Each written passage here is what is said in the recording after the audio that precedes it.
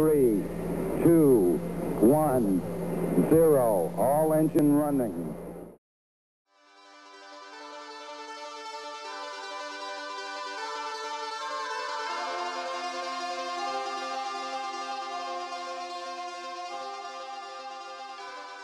Olá pessoal, está começando mais um Astrocast. No episódio de hoje vamos falar sobre a estrutura e a origem do planeta Terra. Comigo nesse programa está Alessio Medeiros, que é recém-formado em Geografia.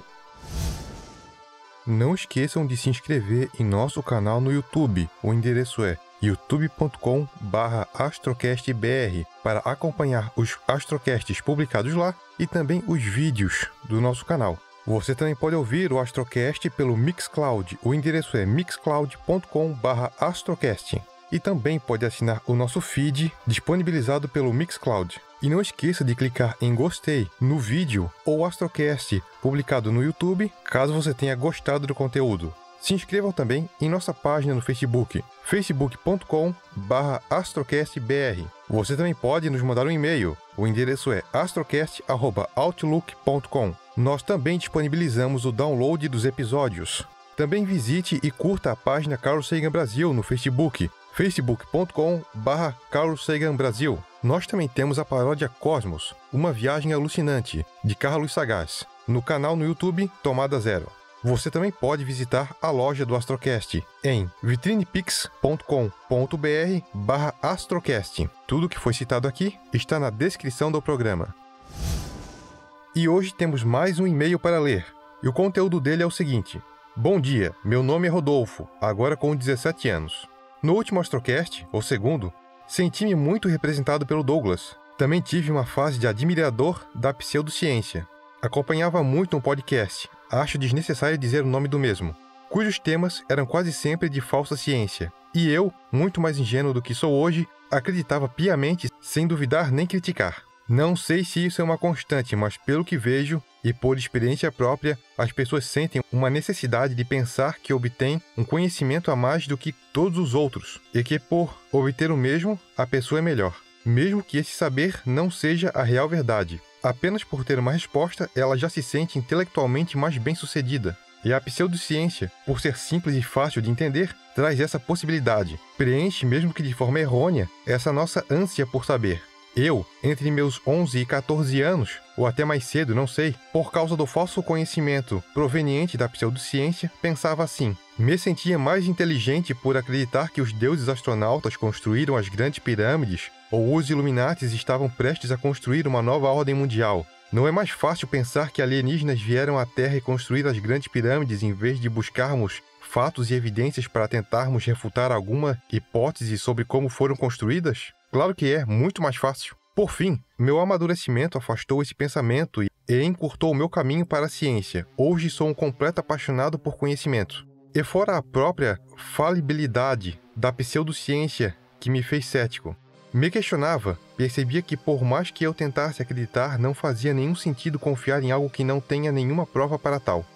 Então, Rodolfo, parece que realmente a pseudociência, especialmente no nosso meio, a ufologia, chamou a atenção de muitos de nós quando mais jovens. Eu, particularmente, nunca segui ufologia ou qualquer outra pseudociência. Podemos dizer assim que, que eu tive essa sorte. Porém, concordo com o que você disse. Você tem razão. As pessoas realmente é, gostam de pseudociências e um dos motivos é que elas são muito mais fáceis de se compreender. Outro motivo, também, pelo qual as pessoas gostam muito de pseudociência é que a pseudociência, invariavelmente ou quase invariavelmente, lidam com questões que afetam diretamente o dia a dia das pessoas, como ter mais saúde, como viver mais, essas coisas. E isso ajuda a chamar a atenção das pessoas. Veja em contraste que muitas pessoas criticam a ciência por ela promover pesquisas que as pessoas não compreendem para que servem. Por exemplo, afinal, qual é o objetivo por que raios gastar tanto dinheiro para tirar fotografias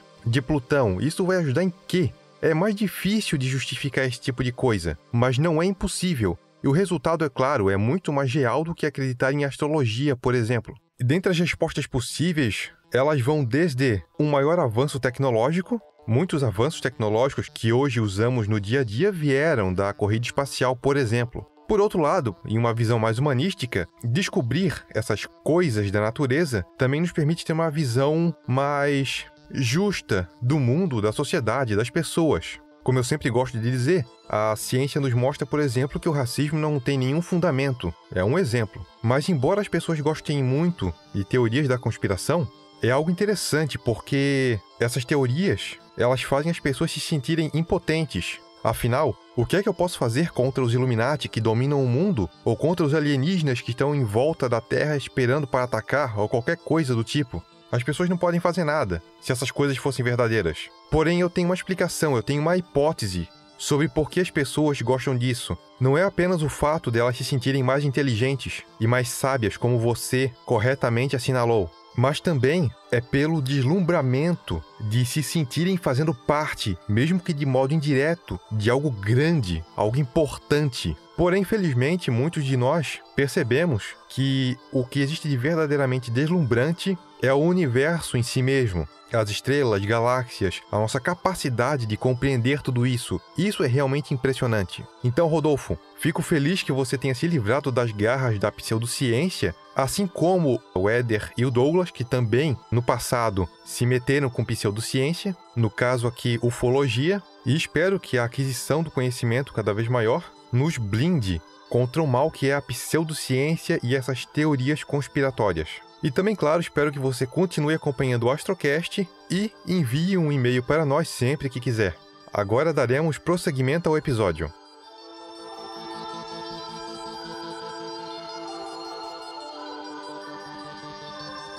Alessio, antes de começar a falar sobre a origem da Terra, vamos falar um pouquinho sobre a tua área de atuação. Por favor, faça uma apresentação sobre você.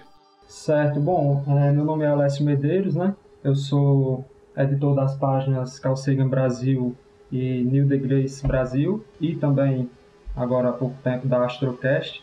Como você já mencionou, eu sou recém-formado em Geografia, né, licenciatura, e também estou prestes a, a iniciar é, no curso de Física.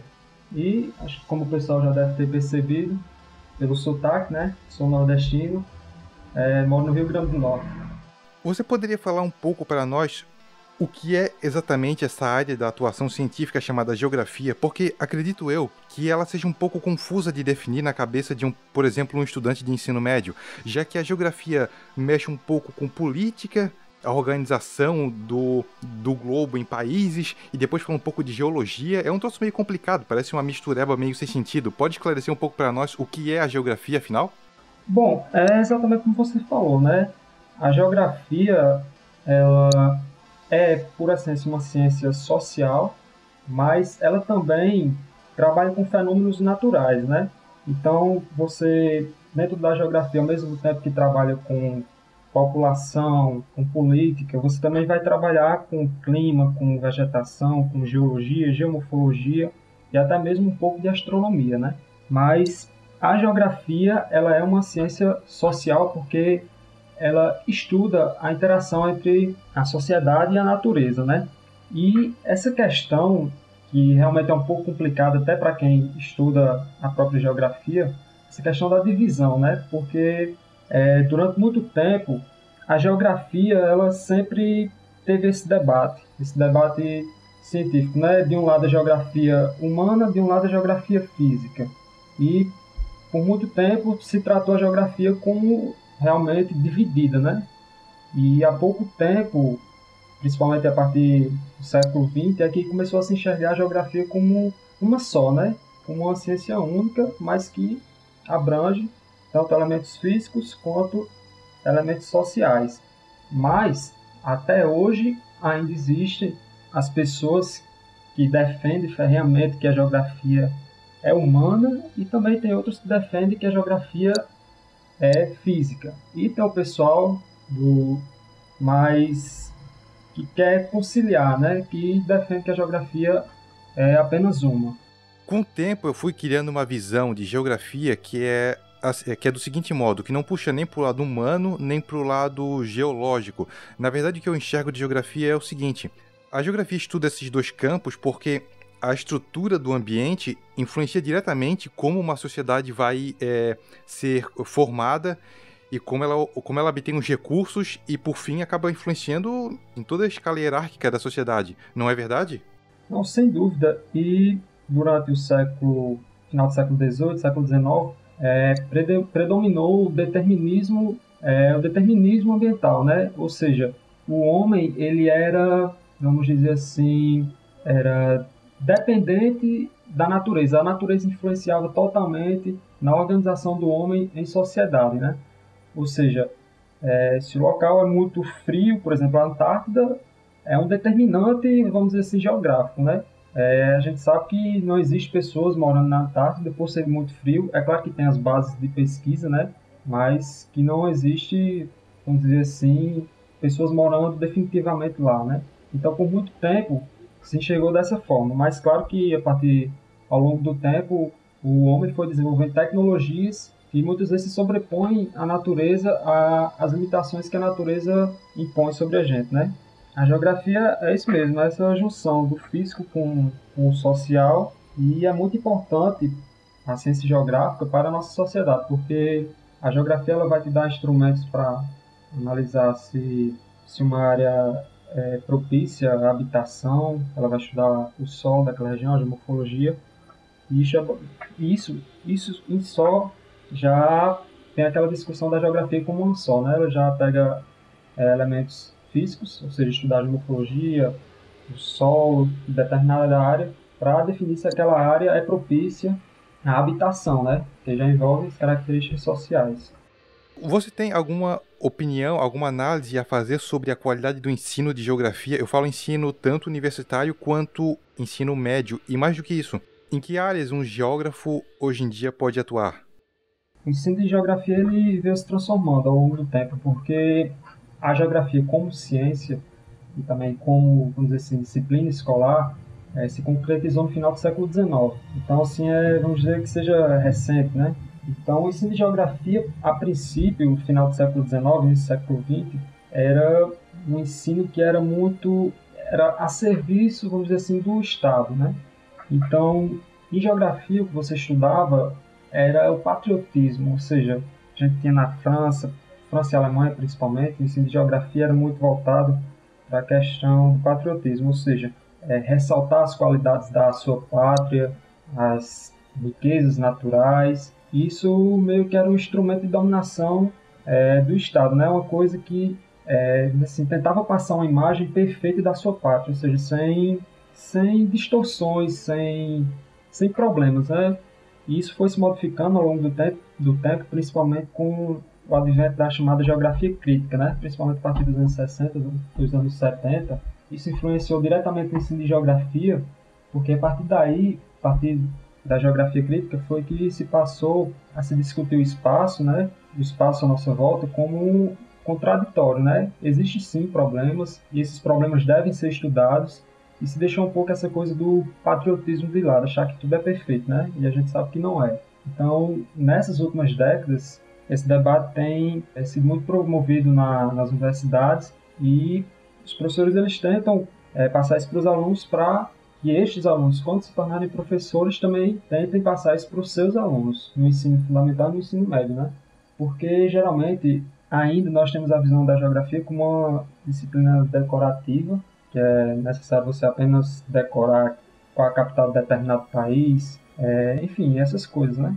Quando a gente sabe que, na verdade, a geografia ela é muito importante, é bastante ampla e não se restringe somente a isso. Então, nesses últimos anos, o ensino de geografia tem se transformado, né? Deixou de ser esse ensino decorativo e passou a esse ensino mais, dizer assim, mais reflexivo, o que o aluno pode criticar o que está posto na sociedade. E com relação, é, com relação à profissão do geógrafo que você falou, né? Porque tem uma diferença. No caso, eu sou licenciado em geografia. O geógrafo é aquele que tem o bacharelado. Então, enquanto o licenciado ele atua nas escolas é, lecionando ou também lecionando no ensino superior, né? Se fizer um mestrado, um doutorado, o geógrafo, ou seja, o bacharel, ele também tem, tem um, assim, um leque de atuações. Né? Ele pode atuar, por exemplo, em secretarias de meio ambiente, ele pode atuar em secretarias de infraestrutura, Então ele tem uma gama de opções para atuar, né? Porque o bacharel ele é um pesquisador, claro que bom professor também é um bom pesquisador, tem que ser um bom pesquisador, mas o geógrafo tem, assim, mais instrumentos para fazer estudos técnicos, estudos ambientais, enquanto o professor ele não tem essa, assim, essa autorização, vamos dizer assim, né? Que é a do CREA. Então o geógrafo ele vai atuar principalmente em órgãos ambientais né, desse tipo e o professor em sala de aula. Quando se pensa em astronomia, se pensa imediatamente em físicos, em cálculos, mas quem estuda geografia também lida um pouquinho com astronomia. Num curso superior, o quanto vocês aprendem de astronomia? E também me diga se você acha que isso é o suficiente ou se a geografia, o curso superior, deveria dar mais ênfase nessa área. Isso varia, essa questão da astronomia varia um pouco de curso para curso, né? Por exemplo, eu quando entrei no curso, eu paguei uma disciplina de introdução à astronomia logo no primeiro período, foi excelente, né? A gente estuda astronomia. Eu acredito que uma disciplina foi o suficiente é, para dar uma introduzida, mas se quiser aprofundar mais, é, teria que estudar um pouco mais fora da disciplina, né? Por vontade própria. E essa disciplina de astronomia no ensino de geografia, caso na graduação, ela é bastante importante porque ela dá embasamento para você entender outros assuntos que estavam por vir no curso, né? E atualmente o curso que eu fiz, né, ele não tem mais essa disciplina de astronomia. E eu acho isso, assim, achei uma tremenda falta de, assim, de preparo do pessoal, porque eu acho que é uma disciplina muito importante, principalmente quando você vai lecionar no ensino fundamental, que você que tem esses assuntos no livro didático que você não viu na graduação, né? Eu tive a sorte de ver ainda, mas as turmas que entraram após a minha já não terão. E assim, também, nos cursos, em outros cursos pelo Brasil, também foi extinta a disciplina de astronomia, de geografia, né? Mas o conteúdo continua no livro didático. Então, esses professores que estarão se formando não vão ter conhecimento de, de astronomia para poder lecionar, né? No ensino fundamental. Isso já fica uma falha na formação desse profissional. E é muito importante o ensino de astronomia porque na astronomia você aprende um pouco sobre o clima da Terra, sobre os horários, é, enfim, sobre uma gama de, de assuntos que são necessários para o ensino de geografia, né? Alessio, obrigado por essa introdução sobre a área da geografia. Vamos agora então para o núcleo do nosso assunto desse episódio, que é sobre a estrutura e a origem da Terra. Acho interessante começar pelas histórias antigas de como a Terra se formou, teorias já hoje em dia bastante obsoletas que você havia sugerido na pauta. O que você pode nos falar sobre elas? É verdade ter sugerido na pauta porque eu acho um tema bastante interessante. Muitas vezes a gente, a gente já está bastante familiar com a teoria atual, que é a hipótese da nebulosa, que a gente ainda vai falar, né? Mas existiram outras teorias que talvez quando a gente ouve hoje, talvez acha muito estranho, muito esquisito. Pode pensar como é que alguém conseguiu pensar nisso, é uma loucura e tal. Mas na verdade não são, né? Porque foram pensadas em épocas diferentes da nossa, em que nós não tínhamos os instrumentos que temos hoje, né? E essas teorias, elas se dividem em dois blocos, né? São as teorias catastróficas e as teorias turbulentas. As teorias turbulentas, ela primeiro foi proposta por René Descartes, né? Ainda no século XVII, se não me engano. E essa teoria proporia que o sistema solar, consequentemente a Terra, né, o sistema solar teria se originado a partir de um sistema de vórtices, ou seja, como se fosse furacões, e isso preenchido por um éter. Então, o Sol e todos os demais planetas teriam sido originados a partir desse vórtice, né? E a gente pode, lógico, imaginar que são teorias absurdas, né? Mas século XVII, final do século XVII, né, 1600 e alguma coisa, não era tão absurdo para a época, né? É o que eles tinham na época, né? E as teorias catastróficas também seriam absurdas hoje em dia. Ela diria que o sistema solar foi formado a partir da colisão de um cometa com o Sol. Aí a gente sabe hoje em dia que cometas são corpos pequenos, né? Talvez os menores corpos do sistema solar. Mas antigamente, cerca assim, século XVIII talvez, se eu não me engano, é, pensava-se que os cometas eram corpos de muita massa, enormes, né? e o impacto de um desses cometas com o Sol teria ejetado matéria do Sol e essa matéria que foi ejetada do Sol teria dado origem aos planetas, né? Hoje essa hipótese, essa teoria não é mais aceita porque sabemos que os cometas são corpos pequenos. Se chegarem a colidir com o Sol, né, talvez se desintegrem antes, eles não vão ejetar é, matéria do Sol que forme um planeta. Senão nós teríamos inúmeros planetas hoje no Sistema Solar, né? Porque a gente sabe que cometas colidem constantemente com o Sol, né? Mas, claro, não causam nem, dizer assim, cócegas no Sol. Então elas se dividem nessas duas, né? As teorias catastróficas e turbulentas. E a teoria moderna da origem do sistema solar, ela é chamada de teoria padrão porque é o modelo padrão de origem do sistema solar, na verdade não só do sistema solar, mas de qualquer sistema planetário. Sistema planetário é qualquer sistema onde existe uma estrela e ao redor dela existem planetas. O nosso sistema planetário é chamado sistema solar porque a nossa estrela se chama Sol. A teoria atualmente usada é chamada de nebular porque o nosso sistema solar se originou a partir de, um, de uma grande nuvem de matéria que se condensou e ela iniciou então uma, uma rotação. Afinal de contas, no universo tudo roda, tudo gira. E quando uma coisa gira e essa coisa ela é maleável, ela tende a virar um disco. É assim que praticamente todas as galáxias são, a não ser que tenha acontecido algum acidente durante a história de existência dessa galáxia. E foi assim também com a nuvem que formou o nosso sistema solar. É, exatamente. Esse é o básico de como funciona da teoria atual da origem dos planetas e do Sol no centro do nosso sistema. Como você disse, né, a teoria mais aceita hoje é chamada hipótese da nebulosa, né? Apesar de ter esse nome, hipótese da nebulosa, ela é sim uma teoria, né? E como você diz, é a mais aceita atualmente. Mas eu acho isso muito engraçado. Existem essas confusões de palavras às vezes que na ciência, por exemplo, as supercordas que num sentido comum nem teoria é, num sentido comum científico, mas ela é chamada teoria das cordas. É muito esquisito, não acha?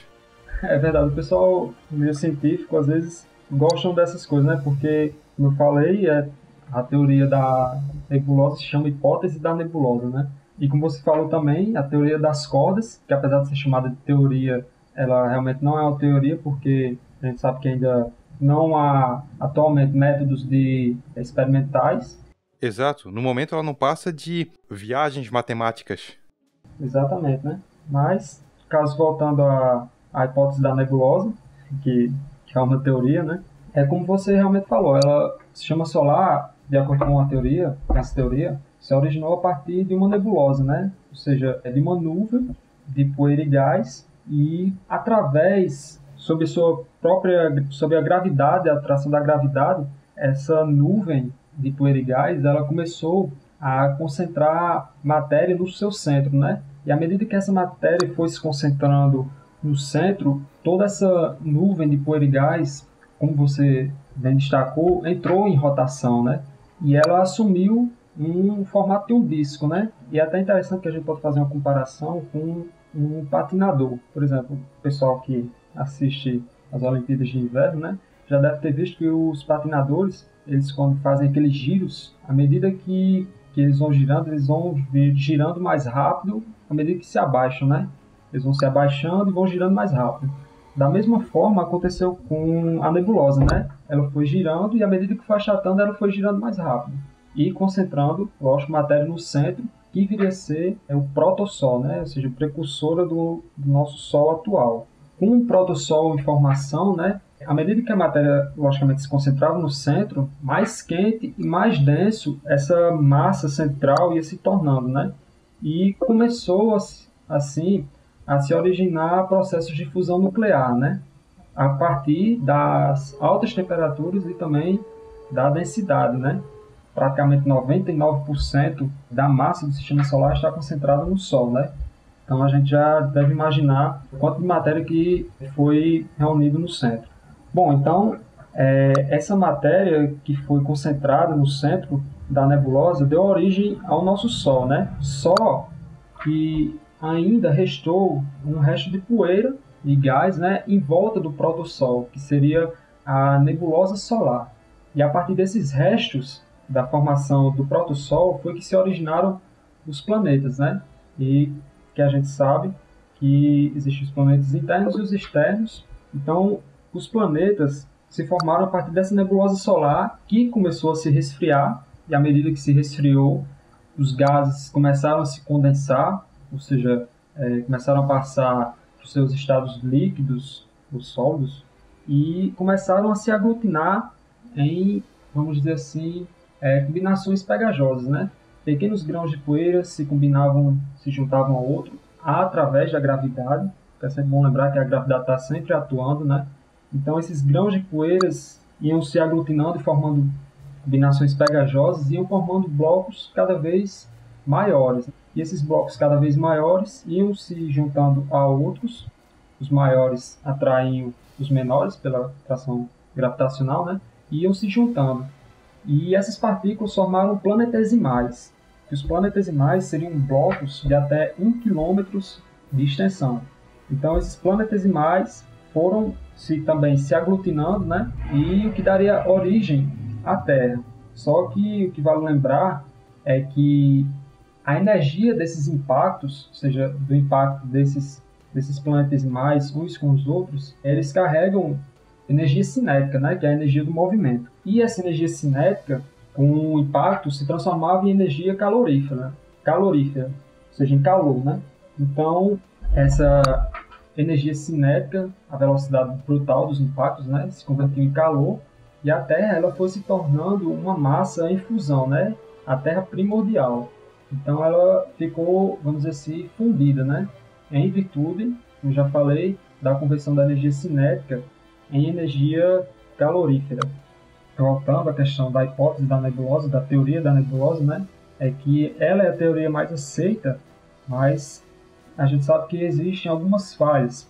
E algo que pode ser questionado nessa teoria seria Plutão, porque é, a gente falou aqui que existem os planetas terrestres, que são os quatro primeiros, né, em ordem a partir do Sol, que seria Mercúrio, Vênus, Terra e Marte, e depois os planetas gasosos, que diferem totalmente dos terrestres, apesar de terem núcleos, núcleos é, sólidos, mas são gasosos, né, Júpiter, Saturno, Urano e Netuno. E temos Plutão, que é telúrico também. É, sua composição é parecida com a dos planetas internos, mas está muito além de Netuno, né? Então, nesse quesito, há esse questionamento, né? Da teoria da nebulosa. Porque Plutão estaria após Netuno se ele é um, dizer assim, um planeta telúrico. A gente sabe não é mais planeta, né? Mas aí tem algumas hipóteses que Plutão poderia ser um satélite natural de Netuno que se desgarrou da gravitação de Netuno e criou sua própria órbita, ou que ele poderia ser é, um planeta, um planeta um outro corpo de um outro sistema solar que foi atraído pela gravidade dos planetas do sistema solar, né, e se prendeu a essa órbita. A órbita de Plutão é bem diferente da dos outros planetas, é, é muito mais excêntrica. Isso, além de ser excêntrica, ela também é bastante inclinada, tanto é que ela cruza com a órbita de Netuno, né? Então, esse é um dos pontos contestados da teoria da nebulosa. Mas, outra coisa bastante interessante, que comprova ainda mais, apesar disso, mas que comprova ainda mais a teoria da nebulosa, é que no final do ano passado, o ALMA, é, que é um conjunto de telescópios, né? Ele fez uma foto, uma das melhores fotos é, de nebulosas estelares já feitas, né? Ou seja, na foto, se o pessoal quiser dar uma pesquisada na internet ou se quiser entrar na página da Neil deGrasse ou da Sagan e pesquisar pelos arquivos é, do mês de novembro, por aí, eles vão ver essa foto da essa imagem que os telescópios captaram, que é a estrela no centro, a protoestrela, e aos anéis de poeira em que os planetas estão em formação. Então isso ainda é, solidificou ainda mais essa teoria da nebulosa. É importante também lembrar que essa nuvem de gás e poeira que formou o Sol e os planetas, boa parte da matéria dela, que seria o hidrogênio e um pouquinho de hélio, são originários do Big Bang. Porém, os demais materiais, eles são provenientes de estrelas anteriores ao Sol que morreram e ejetaram o seu material no espaço. E é até bom você tocar no, no Big Bang, né? Porque o Big Bang, geralmente, as pessoas, quando se fala em origem da Terra, as pessoas associam repentinamente a, ao Big Bang, né? Claro, não haveria Terra se não fosse o Big Bang, mas Big Bang estima-se que ocorreu entre 13 e 14 bilhões de anos. O que eu estou informado, a estimativa mais atual, mais precisa, é 13,73 bilhões de anos. Isso, exatamente. Sempre tem umas, algumas discordâncias, né? Hoje em dia, a discordância, a margem de erro é bem menor do que, por exemplo, nos anos 80. Nos anos 80 diziam que era alguma coisa entre 10 e 20 bilhões de anos. A diferença era grande. Bom, então sempre essa, essa, assim, essa associação de origem da Terra com o Big Bang, né? E o Big Bang, originário há 3,7 bilhões de anos, o Sistema Solar e, consequentemente, a Terra, tem cerca de 4,5 bilhões de anos, né? Então a gente já vê aí um intervalo de quase 10 bilhões de anos entre é, o Big Bang e a formação do Sistema Solar. E entre esse intervalo de tempo aconteceu muita coisa, né? Como você citou, essa nebulosa, ela realmente é originária é, de material de outras estrelas, né? Por isso aquela famosa frase de Carl Sagan que nós somos feitos de poeira das estrelas, né? Apesar dela ser uma frase muito poética, ela não é uma frase poética, ela é uma frase bem literal. É, é fatídica, né? É um fato, porque as estrelas em seu estágio final de vida, elas podem se tornar uma supernova, né? Ou seja, explodirem e essa matéria ela vai ser ejetada para o espaço interestelar e vai dar origem a essas nebulosas, né? E essas nebulosas, como a gente já vem falando aqui, elas vão dar origem a outras estrelas. E assim sucessivamente em um ciclo, um ciclo constante, né? Então, a nebulosa que deu origem ao Sol, à Terra, a Marte, ou seja, todo o sistema solar, é proveniente de uma outra estrela que teve seu ciclo de vida encerrado, né? Com o nosso sistema solar já formado, vamos agora nos focar e nos ater só à Terra. Você sabe dizer alguma coisa sobre qual é a origem da Lua? Eu estava falando aqui da questão desses impactos de planetesimais, né, que originaram a Terra primordial, né? E esse período em que a Terra foi constantemente bombardeada por esses planetesimais, ou seja, a sua fase de acrescimento, está totalmente ligado com a origem da Lua, né? Com a teoria mais aceita para a origem da Lua. E a teoria mais aceita é que nesse estágio final de bombardeamento, e que realmente os cientistas chamam dessa forma, né, período do bombardeamento pesado, um corpo, talvez do tamanho de Marte, teria colidido com a Terra, a Terra ainda estaria em fusão, né, ou seja, ainda seria uma bola derretida de magma. Então, esse corpo, ao impactar com a Terra, teria ejetado matéria da Terra para o espaço. A, sua própria, a própria matéria desse corpo e a da Terra teria sido ejetada e essa matéria que foi ejetada teria sido aprisionada pelo campo de gravitação da Terra e teria dado origem à Lua. Fica difícil assim explicar um pouco sem um auxílio visual, né? Mas eu acho que deu para o pessoal entender, né? No final desse período de bombardeamento, desses impactos de planetesimais, no aquecimento da Terra, houve esse impacto, esse cataclisma, e parte da, da, da matéria ejetada da Terra e desse corpo que colidiu com ela é, ficou aprisionado ao campo de gravitação da Terra e deu origem à Lua, né? E, inclusive, os astronautas da Apollo, quando voltaram da Lua, trouxeram amostras do solo lunar, né? Trouxeram rochas lunares e elas foram datadas é, com 4,4 bilhões de anos, aproximadamente a origem exata do Sistema Solar, né? Então, ou seja, a origem da Lua está totalmente relacionada a origem da Terra, né? assim como dos demais corpos do Sistema Solar. Além da datação da Lua bater com a datação da Terra, com a, com a idade da Terra, existe mais, um, mais uma evidência que corrobora a afirmação de que a Lua é originária de uma colisão de um pequeno corpo com a Terra. É que a crosta terrestre tem uma composição muito semelhante à da própria Lua, não é verdade? Isso, verdade.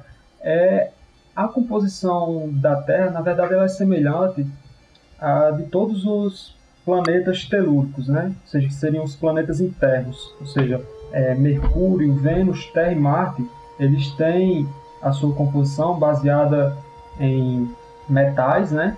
Em rochas e metais. Então, até principalmente silício. Então, todos os planetas interiores, a, a composição deles são bastante parecidas, né? o que fortalece mais ainda essa, essa teoria, né? Como o universo é homogêneo e isotrópico, é natural que os planetas tenham traços de todos os átomos que existem no universo. O que muda, na verdade, em maior medida, é a ordem, é a forma como os materiais estão organizados no planeta e a quantidade deles. Exatamente, né? Seus variantes. Mas no caso da Lua e da Terra, eles são bem semelhantes, né? O que fortalece mais ainda a teoria, né? Existem diversas evidências, essa é apenas uma delas, né? A questão da, da datação das rochas lunares, mas existem várias outras, né? Alessio, uma vez com o nosso sistema solar formado e com a Lua orbitando a Terra, você pode nos descrever como era essa Terra primitiva? A Terra primitiva, é, seu estágio final, após o impacto que teria formado a Lua, ela ainda seria é, vamos dizer assim, uma massa em fusão, ou seja, de magma, quase uma bola de fogo, vamos dizer assim. Só que à medida que esses impactos foram diminuindo, a Terra foi se resfriando, né, naturalmente. Então, vamos dizer assim, de uma bola de fogo ela começou a se resfriar e a partir desse resfriamento é que nós vamos ter a origem de um planeta estruturado em camadas, né? Porque a gente sabe que a Terra é estruturada em crosta, manto e núcleo, né? Além de uma atmosfera que a envolve. Então, a chave para a resposta da origem da atmosfera, dos continentes, dos oceanos, está no resfriamento da Terra, né? que se deu a partir é, da diminuição desses impactos que continham energia cinética, e que essa energia cinética era convertida em energia calorífera, que contribuía para o aquecimento da Terra primordial. Né? Com esse resfriamento, deu-se a origem da atmosfera, dos continentes, nós também sabemos hoje em dia que o fato da Terra ter uma atmosfera com uma quantidade significativa de oxigênio é culpa dos seres vivos. Afinal de contas, são os seres vivos que mantêm a atmosfera com muito oxigênio. Se os seres vivos desaparecessem da crosta terrestre, o oxigênio desapareceria por completo ou quase por completo. Sendo assim, como era a composição atmosférica da Terra antes da existência dos seres vivos, nessa época dessa Terra primitiva? Bom, como você realmente falou, a composição da atmosfera é, na Terra primitiva era totalmente diferente da atmosfera que nós temos hoje, né? A gente sabe que o oxigênio que nós respiramos, ele é proveniente da fotossíntese, né? E a gente sabe que por muito tempo na Terra primitiva não foi assim, até porque, logicamente, ainda não existia vida, né? A formação da atmosfera, que se deu a partir do resfriamento da Terra, né? Ou seja, os gases expulsos pelo magma, né, resfriamento, se deu, eram gases, dizer assim, é uma composição bastante diferente da que nós temos hoje, né? E eram, assim, substâncias, elementos presentes no magma que foram expulsos, né? Por exemplo, é, o hidrogênio, o dióxido de carbono, o nitrogênio, o próprio vapor de água, né? E alguns outros gases em menor quantidade. O hidrogênio, ele não era tão presente porque o hidrogênio ele é muito volátil e a maior parte escapou para o espaço interestelar. Mas esses elementos, esses gases, como o hidrogênio, o dióxido de carbono, o nitrogênio e o vapor d'água eram bastante presentes na atmosfera primitiva, né? O oxigênio só veio fazer parte da nossa atmosfera a partir da origem dos seres vivos, né? Há uma coisa muito interessante a se falar sobre o oxigênio. É uma coisa que eu sempre defendi. Não é que a Terra seja perfeita para a existência de vida, mas é que, em grande medida, os seres vivos adaptaram a Terra às suas necessidades. Por exemplo, a tão falada camada de ozônio, constituição química dela é O3, ou seja, cada molécula de ozônio é constituída de três átomos de oxigênio. Como é que o ozônio se forma? Como é que a camada de ozônio se forma? É um processo diretamente dependente do oxigênio da atmosfera, porque uma vez que as plantas expelem o oxigênio, as moléculas de oxigênio o oxigênio é formado O2, são dois átomos de oxigênio por molécula. Quando é, chega numa certa altitude na atmosfera, a energia do Sol é suficiente para quebrar essa molécula, que então se recombina, formando então o O3, que é o ozônio. Então, a camada de ozônio protege os seres vivos e ela só existe por causa dos seres vivos. Nós sabemos que a superfície da Terra é formada de aproximadamente 70% de água. Se a Terra primitiva era tão quente, era praticamente uma, uma rocha incandescente, não haviam mares nessa época. Qual é a explicação mais aceita para a origem da água na Terra? A origem da água na Terra também está relacionada com o resfriamento da Terra primordial, né?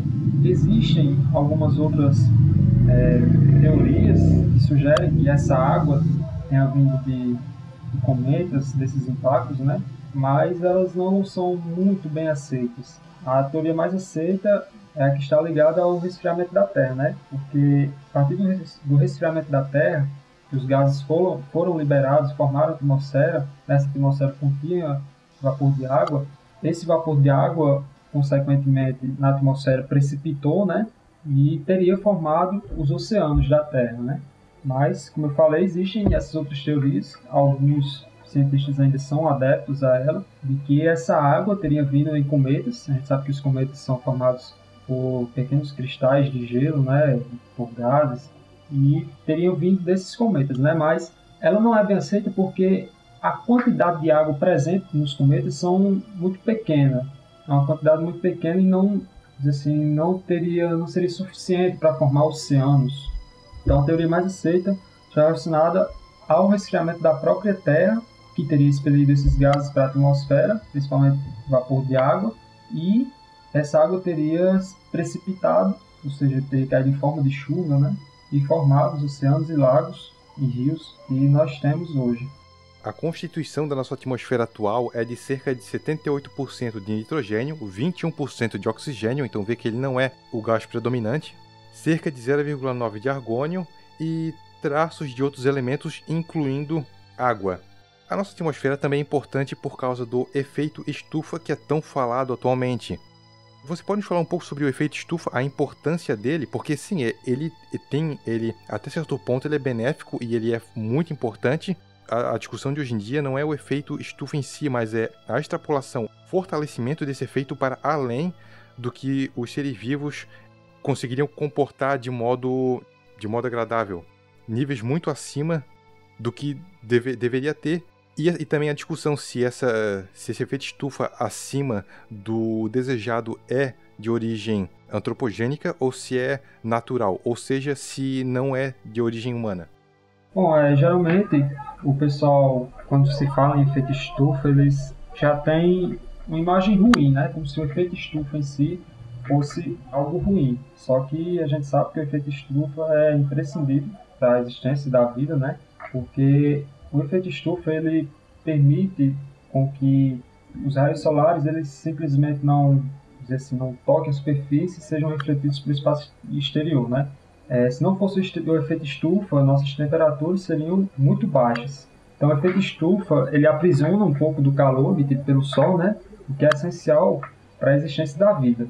E o que se discute hoje, hoje em dia é a intensificação do efeito estufa, ou seja, dizer assim, as emissões de alguns gases, principalmente o carbono, né, estariam intensificando o efeito estufa, ou seja, os raios solares assim, estariam ficando mais aprisionados e estariam sendo pouco refletidos para o espaço interestelar, né? Então estaria é, intensificando o efeito estufa. É, seria o Vênus, por exemplo, ele tem um efeito estufa tremendo, né? Mais forte do sistema solar, por isso que é o planeta mais quente do sistema solar, por causa desse efeito estufa muito intenso. Sim, a temperatura na superfície dele passa dos 400 graus. Isso, porque muitas pessoas também não sabem, né? Pensam que Mercúrio, por ser mais próximo ao Sol, é o planeta mais quente, mas Mercúrio não possui atmosfera, né? Então ele não tem como reter calor. Claro que é, o lado que está exposto ao Sol é bastante quente, mas em contraponto, o lado que está ligeiramente oposto ao Sol é bastante frio. E com relação à questão se a intensificação do efeito estufa é um efeito antropogênico, ou seja, um efeito humano, eu pessoalmente eu ainda fico meio dividido, porque lógico a gente sabe que as emissões de gás carbono é, é, têm se intensificado muito, né? E seria a causa principal do aquecimento global, né? Mas só que também a gente tem que ver que é, em outras épocas da história da Terra houve mais carbono na atmosfera do que atualmente. E nessas épocas o homem logicamente não não emitia, não tinha emissões de gás carbônico para a atmosfera, né? Então eu ainda fico meio dividido nessa questão se é um efeito antropogênico ou um efeito natural, mas de fato, o fato é que o homem intensifica sim, modifica sim o clima local isso é fato, mas o global, eu particularmente ainda tenho essa dúvida. Com certeza, mesmo que o efeito estufa não seja de origem antropogênica, a diminuição da poluição química emitida pelos carros é fundamental por vários motivos. Um deles é que, independente do efeito estufa ou não, ela faz mal para os seres vivos, incluindo o próprio ser humano. Sem falar que aumenta a temperatura local do ambiente, o céu fica poluído. Quem vai em São Paulo sabe do que eu estou dizendo.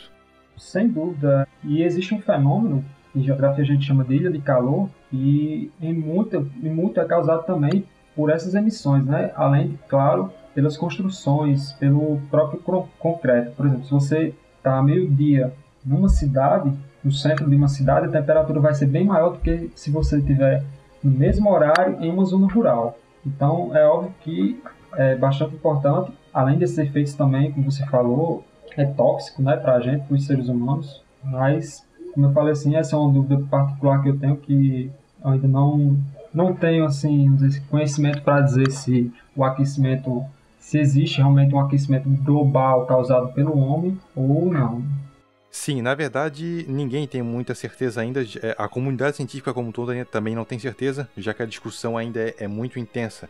O que nós sabemos é que sim, estão havendo mudanças climáticas, que, não, que nem sempre são para aquecer, às vezes também a, a, são regiões que até esfriam mais. Mas uma coisa que você falou são estudos que mostram que a composição da Terra no passado era diferente, inclusive havia mais carbono na atmosfera. Como que os pesquisadores sabem como era a atmosfera no passado?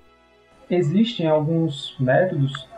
Um exemplo, é, nas geleiras, as geleiras elas aprisionam pequenas bolhas de ar dentro dessas geleiras, né? Então, os cientistas eles perfuram o gelo e tentam encontrar esses bolsões de ar que estão aprisionados ali há milhares de anos, né? Então, esses bolsões de ar eles conseguem ter uma pista dos gases que formavam a atmosfera primitiva da Terra, né? Então, essa é uma das maneiras, né? E tem um, um artigo que depois, se o pessoal quiser dar uma lida, se chama Histeria ou Aquecimento ou Histeria Global, de é, José Carlos Molion. Ele é um estudioso que ele defende que o aquecimento global não é causado pelo homem, né? E nesse artigo dele ele explica como é feito essa questão para saber de como era composta a atmosfera é, em tempos remotos da Terra. E esse é um dos métodos, né? Pegar essas bolhas de ar que estão aprisionadas em geleiras e estudar para saber quais eram os compostos da atmosfera. Tão importante quanto saber a composição da atmosfera no passado é saber onde no passado isso ocorreu. Como os pesquisadores sabem em que data esses fenômenos aconteceram? Para você ter uma ideia assim, isso falando de maneira geral dos métodos de datação, geologia. Na cultura geral, assim, é muito conhecido a datação por carbono, carbono 14. Só que o que as pessoas costumam não saber é que o carbono 14 é apenas um método de datação, que inclusive tem uma limitação muito grande, ele consegue datar objetos de até no máximo 70 mil anos. E mais do que isso, esses objetos, eles são necessariamente, até onde eu saiba, seres vivos. Porque coisas inanimadas como pedras não vão acumular dentro de si o carbono 14. É, o carbono 14 ele faz parte de uma de um tipo de técnica de datação que é a datação por radioisótopo, onde é, se verifica a idade de alguma coisa a partir da meia-vida de um dado composto radioativo, sendo que a meia-vida é o tempo que metade desse da quantidade total desse composto no objeto leva para decair para a forma abaixo. No caso do carbono 14, ele decai para carbono 12, que é uma forma estável, ou seja, a partir dela ele não decai para nenhum outro tipo de carbono mais leve. Bom, é verdade, o carbono 14 é apenas um dos métodos de datação né, utilizado na geologia, por exemplo. Carbono 14, o método de datação por carbono 14, ele não se aplica, porque, como você falou, ele tem assim, uma restrição, né? Ou seja, ele é muito bom e fazer datações de até 50, 50, 70 mil anos, né? Então, ele é perfeito, vamos dizer assim, para o estudo da civilização, para a arqueologia, é, até mesmo da pré-história, mas para você estudar processos geológicos, que ocorrem no decorrer de milhões de anos, é, são necessários outros, outros métodos, né? E um que você falou que se encaixa no carbono 14, que é por decaimento, né? É um dos tipos, né? Que é essa por decaimento é, através da radioatividade de alguns minerais, alguns compostos, é a datação chamada absoluta. Mas também existe a datação é, relativa. Então, só para esclarecer esses dois blocos de datação, né, relativa e absoluta, a relativa ela é extremamente observacional. Ou seja, quando vamos dizer assim, o geólogo ele chega a campo, ele vai observar à sua volta é, as rochas, os relevos, e essa é o tipo de datação relativa no qual ele vai falar, vai observar, talvez o pessoal em casa já tenha visto, rochas que elas são sobrepostas em camadas. Existem algumas camadas, são chamadas rochas sedimentares, né? E a datação relativa ela vai observar essas rochas, principalmente as sedimentares, ela vai ver as, o geólogo vai ver essas camadas e ele vai saber que aquelas camadas que estão na base são mais antigas do que as que estão no topo. Esse é o princípio da sobreposição. Ou seja, a gente encara por exemplo, uma rocha que tem essas camadas como assim, uma linha vertical de tempo. Quanto mais na base a camada está, mais velha ela é. Então, esse método de datação relativa ela não diz exatamente a idade de um elemento ou de, assim, de um evento, de um objeto, de um evento. Ela serve para comparar é, objetos. Por exemplo, eu sei que essa rocha aqui é mais antiga, do que aquela, porque ela tem menos camadas, porque tem mais camadas. Então é extremamente observacional, né? Então geólogo, o geógrafo tem que ter um olho treinado para isso. Eu já ouvi falar de casos em que os pesquisadores concluíram que um dado pedaço de, de rocha estava de cabeça para baixo, as suas camadas estavam invertidas. Ocorre. Essa é uma das exceções, porque existe é uma exceção a esse princípio da sobre, sobreposição de camadas, né? Porque, como eu falei, se estivesse na base seria mais antigo, né? Mas, nesse caso que você falou, se eles pegaram uma amostra, dataram por método de datação absoluta, que aí se inclui por radioatividade, né? E constataram que as do topo são mais antigas do que a da base, então esse bloco de rocha ele foi invertido, né? Então aí entra os processos de pirogênese, né? Da tectônica. Então talvez tenha havido um soerguimento nessa área, basculamento que a gente chama, né, que é quando uma área ela soergue mais do que a outra, ela não soergue uniformemente. Quando eu falo soerguer, vocês imaginem assim uma área assim subindo, soerguindo. Mas isso numa escala de milhões de anos, né? não é algo que a gente percebe é, na nossa escala de vida, né? Então, talvez esse bloco que tenha esteja, como você falou, com as camadas mais do topo, mais antigas do que as da base, talvez tenha havido esse basculamento, ou seja, apenas uma parte desse bloco de rochas foi soerguido e talvez tenha dado essa forma, né? Então existem essas, essas exceções. Por exemplo, tem, é que eu não estou lembrado do local, tem um local que tem as pegadas de um dinossauro numa rocha que ela está no eixo de 45 graus, por exemplo. Então, logicamente, o dinossauro não estava andando de lado, né? Ele estava andando, logicamente, no chão e essa área foi soerguida. Você também não ia falar um pouco sobre a datação absoluta? A datação absoluta existe dentro da, do bloco de datações absolutas existem vários outros tipos de datação. Por exemplo, uma essa por radioatividade e existe a paleomagnética também. A Terra, só para falar rapidinho da paleomagnética, a Terra ela inverte o seu polo magnético é, num determinado intervalo de tempo. E as rochas, alguns compostos é, possuem, as rochas também possuem assim, elementos metálicos, né? E conforme o campo magnético inverte, esses, esses elementos magnéticos, esses metais, também vão se ajustar aonde estiver o polo magnético da Terra. E sabendo esse intervalo em que a Terra inverte polo magnético, os geólogos eles conseguem datar a idade dessas rochas por esse método, né? pelo método paleomagnético. Paleo vem de antigo, né? magnético é, já está bem claro. E a datação por radioatividade, como você bem citou, em que é utilizada a radioatividade natural de certos minerais, né? A gente sabe que é, determinados minerais possuem uma quantidade de tempo característica do decaimento de seus átomos. Por exemplo, o urânio, também no rádio, né, no elemento químico rádio, os átomos eles podem se transformar num, num átomo mais leve a partir da emissão de radiação durante um determinado período de tempo. E esse determinado período de tempo que esse átomo leva para emitir essa radiação e se tornar um átomo mais estável se chama a meia-vida. Então, se os cientistas sabem hoje a meia-vida de determinado elemento, é, eles podem calcular, datar o quanto houve, o quanto a taxa de decaimento desse, desse isótopo, né? E assim datar a idade de determinadas rochas. O que foi usado para datar as rochas da Lua, né? E inclusive acredito que também foi usado para datar as rochas mais antigas da Terra, né? Eu também já ouvi falar de uma técnica de datação que seria por camadas de magma. O vulcão eh, expeliria o magma e conforme durante o tempo geológico ele vai expelindo mais magma, as camadas vão se acumulando e, e a partir disso é possível datar. É possível também usar esse, esse fato como um princípio de datação.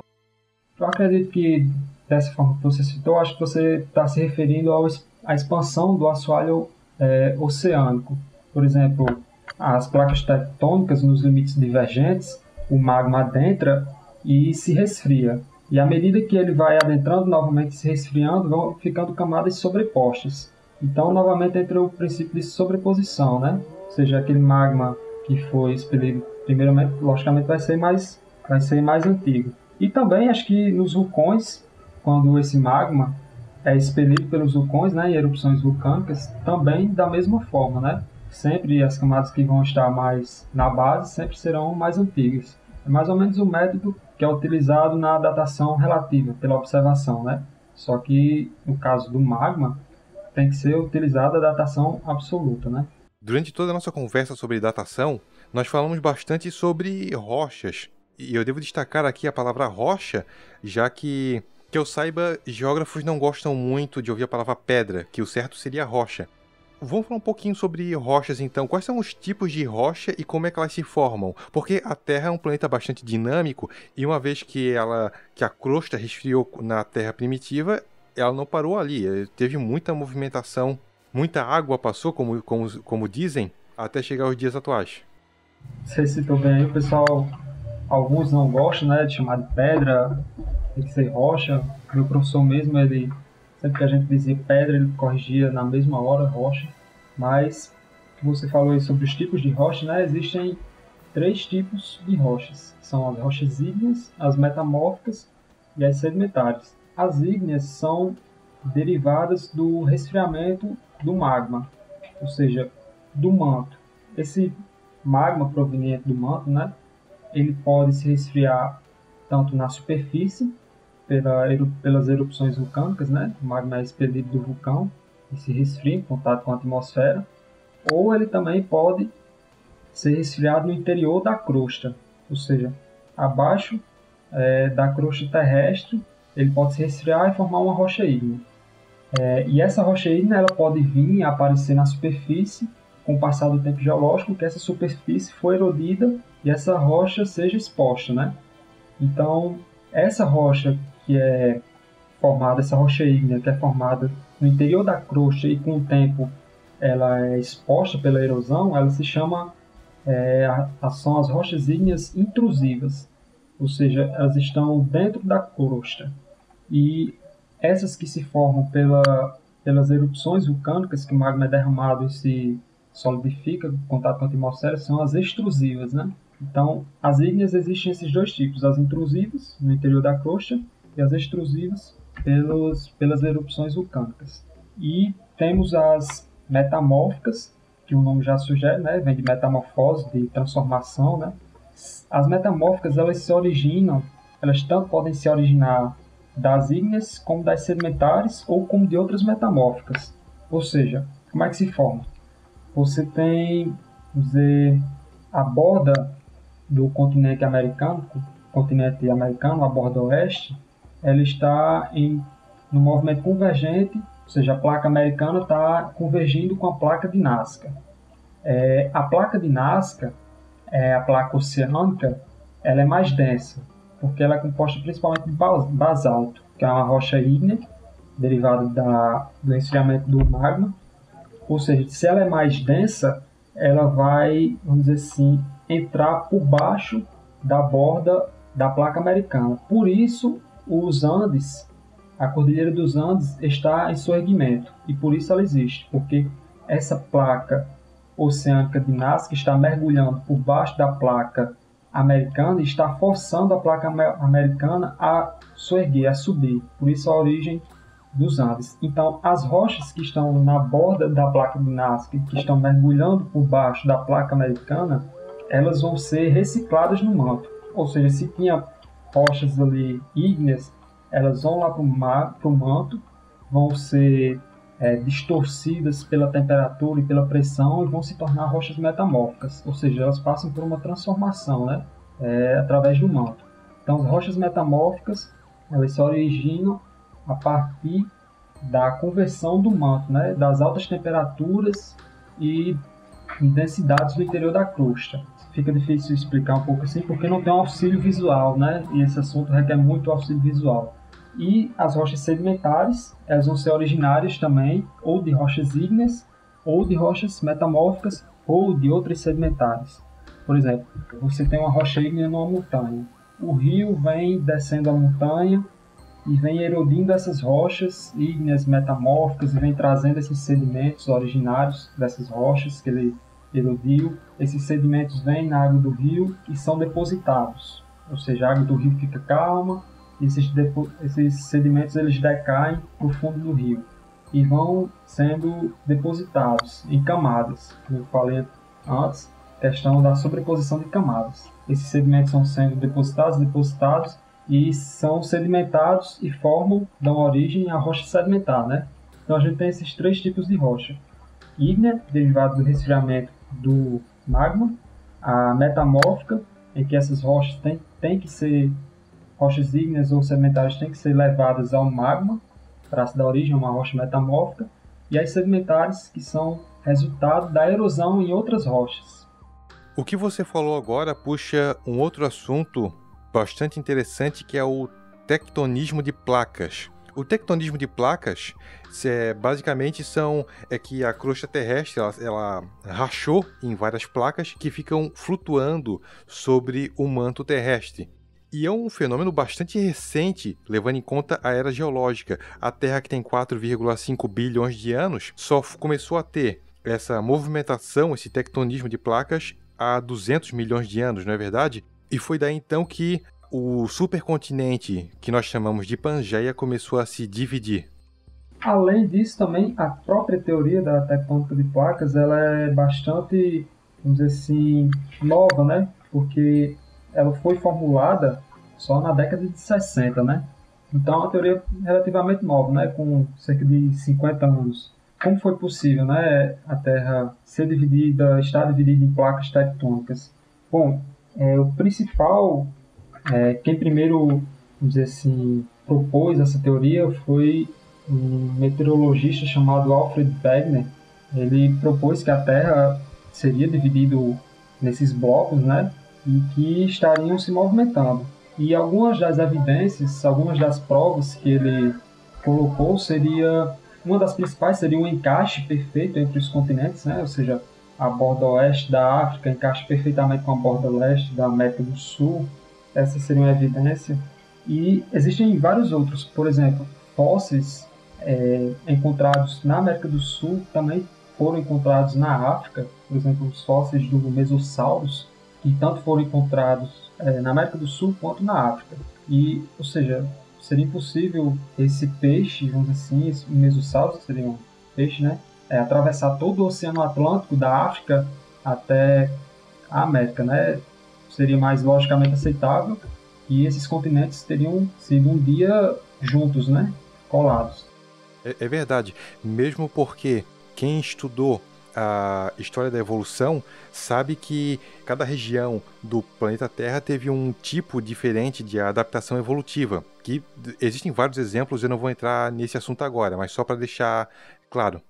E além disso, também tem outras, por exemplo, a questão das sequências estratigráficas, ou seja, voltando ao assunto de rochas, né? As rochas da borda oeste da África, elas tinham a mesma sequência estratigráfica, ou seja, a mesma sequência de camadas do que as rochas da borda leste do continente americano, né? Além também do, da datação dos paleoclimas, que também eram as mesmas. E só que nada disso foi suficiente para provar a teoria é, da deriva continental, né? E porque os físicos na época, no início do século XX, os físicos diriam que isso era impossível por causa da rigidez da superfície da Terra, né? Então, e também Alfred Wegener não conseguiu explicar como é, esses continentes se moveriam, né? Que força seria capaz de movimentar esses continentes. Ele chegou a sugerir que seria, seriam as forças de marés da Lua e do Sol, mas não foi adiante, né? Os físicos rejeitados diziam que era impossível. E só a partir da década de 60, com os sonares, ou seja, que eram utilizados na Segunda Guerra Mundial, né? Os sonares no, nos submarinos, passaram a ser utilizados nos navios e na década de 60 eles mapearam o, o fundo oceânico e constataram a, descobriram a, a cadeia mesoatlântica que está entre a África e a América, né? Ou seja, a cadeia mesoatlântica, ou mesoceânica, como chamam, ela é o limite da placa americana com a placa da placa africana, né? Então, a placa africana, ela está se separando da placa americana. A placa é bem maior do que o pedaço de terra seco que forma o continente, porque ela se estende por baixo do oceano, certo?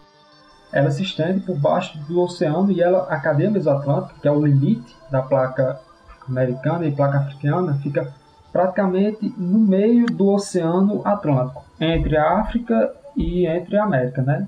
E essas duas placas estão se separando. E o sonar ele conseguiu captar, é, registrou essa cadeia mesoatlântica e a partir daí os cientistas começaram a estudar e viram que o assoalho oceânico, ou seja, o fundo do oceano estava é, em expansão, né? Ou seja, o magma adentrava e solidificava, e essas placas vinham se afastando. E com estudos posteriores foi visto que o que movimentava essas placas era a corrente de convecção do manto, ou seja, é um efeito simples que a gente pode observar no dia a dia. Se você colocar uma vasilha com água fervendo no fogão e colocar alguns pedacinhos de, de legumes, alguma coisa assim, a corrente de convecção ele começa assim com movimentos ascendentes e depois eles decaem, né? Ou seja, é como se você você vai perceber que a corrente, a corrente de convecção ela vai afastar os pedacinhos de legumes para as bordas é, da vasilha que estiver no fogão, porque são correntes que ascendem, levam material e energia para cima e quando chega no topo eles decaem para a esquerda e para a direita. Pessoal imaginar. Então esse movimento circular ele vai separando essas placas, né? Vai fazendo com que as placas tectônicas se movem, né? São cerca de 12 placas tectônicas. Nós sabemos que a crosta terrestre, a espessura dela não é contínua, ela é mais fina, especialmente na parte onde ficam os oceanos. Nós também sabemos que o, o ser humano ele nunca ele nunca conseguiu chegar até o manto. Eu não me recordo qual é o, o buraco mais profundo que o ser humano já fez, mas faltou muito para chegar para chegar no manto. Você saberia dizer qual é o trecho mais espesso e o mais fino da crosta, da crosta e eu também gostaria que você falasse sobre um pouquinho mais de detalhes do que, for, do que você falou no começo do programa sobre como, como a Terra se divide em núcleo, manto, manto externo e também, afinal de contas, como é que os pesquisadores sabem como é que a Terra se divide? Então, recapitulando, né, lá, lá para o início, essa diferenciação de camadas também está é originária do resfriamento da Terra, porque quando a Terra começou a se resfriar, os materiais mais densos, os minerais mais densos, eles é, afundaram em direção ao núcleo do planeta, né? E formaram um núcleo. ou seja, esses materiais mais densos seriam o ferro e o níquel. E os materiais mais leves, eles ascenderam, por serem mais leves, logicamente, né? ou seja, subiram em direção à superfície. Por exemplo, o oxigênio, o silício, o alumínio, e formaram a crosta. Os materiais de densidade intermediária ficaram entre a crosta e o núcleo e deram origem é, ao manto. Seria aí, acho que o magnésio, por exemplo, seriam materiais de densidade intermediária. Então, essa diferenciação de camadas se deu a partir do resfriamento da Terra, em que os materiais mais pesados desceram pela gravidade e formaram o núcleo, e os materiais mais leves ascenderam e formaram a crosta, ficando os intermediários ali formando o manto. Qual a, temperatura, a temperatura média de cada camada? Bom, as temperaturas elas variam um pouco, né? Para o pessoal ter uma ideia, a temperatura da superfície do Sol é cerca de 6 mil graus centígrados, aproximadamente. É exatamente a temperatura do núcleo da Terra, né? cerca de 6 mil graus centígrados. A temperatura é, do manto é mais amena, bem entre aspas, ficaria entre entre 2.000 e 4.000 graus centígrados, dependendo do, vamos assim, do local, né? Mais próximo à superfície, a temperatura logicamente vai ser menor, mais próximo ao núcleo vai ser maior. Então fica entre essa temperatura, entre 2.000 e 4.000 do manto. Sobre a, a espessura da crosta. Isso aí é também bastante relativo. A crosta ela é mais espessa em regiões montanhosas, por exemplo. O nível médio da crosta é cerca de 40 km de profundidade. Mas, por exemplo, o, o Himalaia, por exemplo, tem cerca de 8 mil metros de altitude, se não me engano, né? Então, o Himalaia, que tem cerca de 8 mil metros de altitude, ele vai ter uma raiz adentrando abaixo da superfície também de 8 mil. Isso já entra um pouco em geomorfologia, já é um pouco mais complicado, mas só para o pessoal entender, toda montanha ela tem uma raiz, vamos dizer assim, uma raiz mesmo, proporcional à sua altitude em superfície abaixo da superfície. Por exemplo, se existe uma montanha de 8 mil metros de altitude, vai ter uma raiz de 8 mil metros abaixo da crosta, né? Então, a crosta é mais espessa nesses, nessas áreas montanhosas. Se a crosta tem, em determinado local, uma espessura de 30 quilômetros, por exemplo, mas tem uma montanha de 8 mil é, metros de altitude, ela vai ser bem mais espessa por causa, em virtude da raiz dessa, dessa montanha, né, que adentra na astenosfera. A astenosfera, só para o pessoal situar, é o limite entre litosfera, ou seja, a camada externa, rígida que nós vivemos, entre a litosfera e entre o manto. Mas o ser humano ele nunca chegou a perfurar até o manto, muito menos até o núcleo.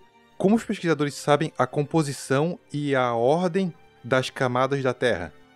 É, realmente, como você falou, nós seres humanos mal arranhamos a superfície do planeta, né? Mas então, como é que a gente sabe que a Terra é dividida dessa forma, né? É, por incrível que pareça, existe um desastre natural que ajuda muito os cientistas nesse quesito, né? Que são os terremotos. Por exemplo, se ocorre um terremoto no Japão, as ondas de propagação desse terremoto elas podem ser sentida, sentidas do, do outro lado do planeta, né? Então, essas ondas de propagação de terremoto, elas atravessam todo o interior da Terra e chegam até o outro lado do planeta. Então, os cientistas eles conseguem saber a composição é, do interior da Terra, quais são os, os elementos químicos, é, como está dividido a partir dessas ondas que se propagam através do interior da Terra, né? dos terremotos. Então, como isso é feito? Eles utilizam alguns equipamentos para captar essas ondas e essas ondas elas vão ter comportamentos diferentes à medida que elas passam por materiais diferentes. Então, se essa onda passa pelo magnésio, ela vai ter um comportamento diferente, vai chegar a esses equipamentos com comportamento, com dados diferentes do que se ela passasse pelo ferro pelo níquel, por exemplo.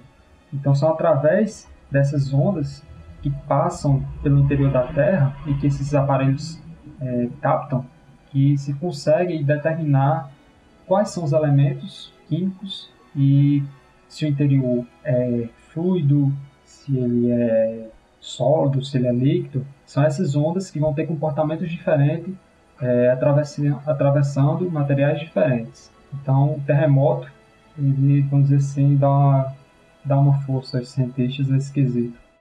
E o núcleo da Terra, ele é sólido? É, ele se comporta como sólido porque por causa da grande pressão exercida de toda a massa da Terra, né? É, então, a partir da pressão, ele se comporta como sólido. Então, ele realmente é sólido por causa de toda a pressão da massa da Terra sobre o núcleo, né? Então, você tem um manto que tem uma espessura considerável, né?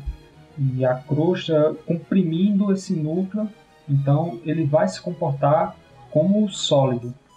É do núcleo da Terra que também se origina uma das camadas mais importantes para os seres vivos, que é a magnetosfera. O que você poderia nos falar sobre ela? Bom, é, a origem do, da magnetosfera, né, ela está relacionada também com é, corrente de convecção do manto e com atrito ocorrido entre o manto e o núcleo, né? Então, a magnetosfera, isso, claro, também é, é, aliado ao calor aprisionado no interior da Terra, né? Em sua formação da Terra primordial, esse calor ficou aprisionado com esse atrito entre o núcleo e o manto, a partir da convecção, das correntes de convecção, vai originar é, a magnetosfera é, da Terra, né? E essa magnetosfera, ela tem uma importância não só para nos proteger de certas partículas emitidas pelo Sol, mas também na sociedade humana para a navegação, certo? Como você falou, a importância, dizer assim, cósmica seria essa proteção contra algumas partículas, né?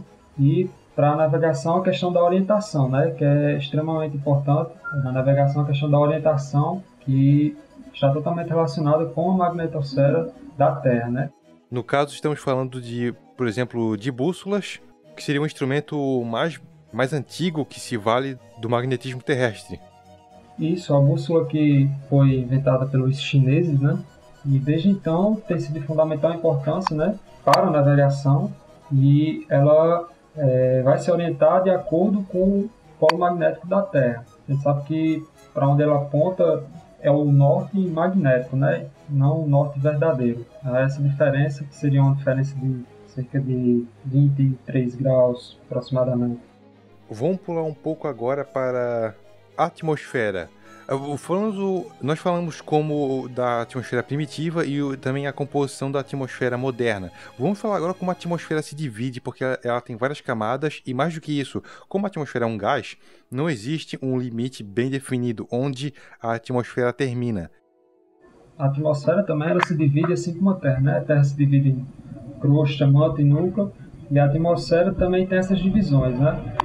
Então, partindo da, da litosfera, da superfície, né, a atmosfera se divide em troposfera, tropopausa, estratosfera, é, mesosfera, ionosfera e exosfera, né? E também a termosfera. Então são várias divisões e existem é, algumas diferenças entre, entre essas camadas, né? Por exemplo, a troposfera é a região é, mais baixa da atmosfera, né? Onde, onde vai acontecer é, os processos, vamos dizer assim, climáticos, né? Por exemplo, é, as chuvas, formação de nuvens vão ocorrer na troposfera, que é essa primeira camada que tem aí no máximo 17 quilômetros de altitude, né? A partir da, da superfície. Em seguida, é, a gente tem a tropopausa, que seria o limite ou a transição entre a troposfera e a estratosfera, né? E entramos na estratosfera, que fica entre a troposfera e a mesosfera, né? E a estratosfera ela tem uma característica por, é, diferenciada porque ela vai ter um aumento de temperatura é, de acordo com a altitude e também ela tem pela ausência de nuvens, né? e ela vai aí até uns 50 quilômetros acima da superfície. Já a mesosfera, ela estaria entre a estratosfera e a ionosfera. A mesosfera, ela, ao contrário da, da estratosfera, ela diminui à medida que a altitude aumenta. Na estratosfera, a temperatura ela vai aumentar. Já na mesosfera ela diminui à medida que aumenta, né? E vai aí até uns 80 quilômetros acima da superfície da Terra. Aí já entramos na ionosfera, que começa a partir dos 80 quilômetros, né? Que contém, vamos dizer assim, o nome já sugere, né? Contém muitos, muitos íons e elétrons, seria o plasma, né? A matéria nessa camada fica ionizada por causa da radiação do Sol. Isso, sobre a ação do Sol que atinge esses átomos, né? E arranca alguns elétrons, fica ionizada, né? E são onde as auroras ocorrem, né? Ou seja, pela, por essa ação direta do Sol. E aí a gente já entra na exosfera, que é assim, uma das camadas mais externas né, da atmosfera, que aí vai parte de 640 até uns 1.200 quilômetros de altitude. E após a exosfera, ainda tem a termosfera, que seria uma camada, vamos dizer assim, seria o limite entre a atmosfera e o espaço exterior, né, o espaço cósmico. Nós sabemos que a temperatura da Terra não é uma coisa tão simples, ela é bem complexa, que envolve mais coisas do que a camada de do que o efeito estufa natural. Nós também somos muito dependentes, as condições atuais da Terra são extremamente dependentes da dinâmica da atmosfera, com as suas correntes de convecção e também das correntes oceânicas. O que você poderia nos falar sobre essas importantíssimas correntes? Bom, como você já falou, elas são bastante importantes, né? Porque assim elas praticamente controlam o clima global, né? Então, as correntes oceânicas e as correntes atmosferas, elas trazem, vamos dizer assim, por exemplo, as correntes oceânicas do, do Ártico, elas trazem traz, vem com, entre aspas, água com a temperatura menor, né? E ela é responsável, essas correntes, tanto atmosférica quanto é, oceânica, são responsáveis pela dinâmica do clima global. Interagem, tanto é que a gente vê, acho que diariamente no jornal, a gente vê falar em frente fria, e a gente vê a junção dessas frentes frias com frentes quentes, e que formam geadas muitas vezes. Então elas são assim, reguladoras do clima global, né? E uma vez que a gente, nessa parte eu concordo com a questão do aquecimento global, uma vez que a gente interfere nessa dinâmica, a gente interfere um pouco é, no clima, né? As correntes oceânicas, elas levam muito tempo, levam milhares de anos para completar um ciclo, mas as correntes atmosféricas, elas são mais rápidas? São mais rápidas pelo seu caráter volátil, né? se tratam de gases, então elas são correntes mais rápidas do que as correntes oceânicas. Nós sabemos que, ao contrário do que pensavam os antigos, até Kepler, que as órbitas elas não são circulares, as órbitas dos planetas são elípticas, ou seja, elas têm excentricidade. A excentricidade da Terra é de 0,0167.